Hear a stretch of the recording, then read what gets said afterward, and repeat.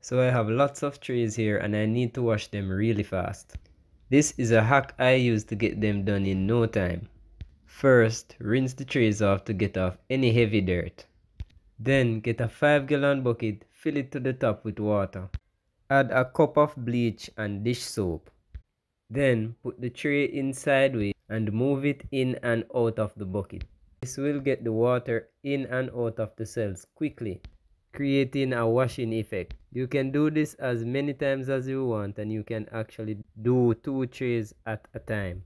Once you're finished with one side, flip it over and do the other side. Now leave them in the sun for further disinfection, then rinse them and you're done.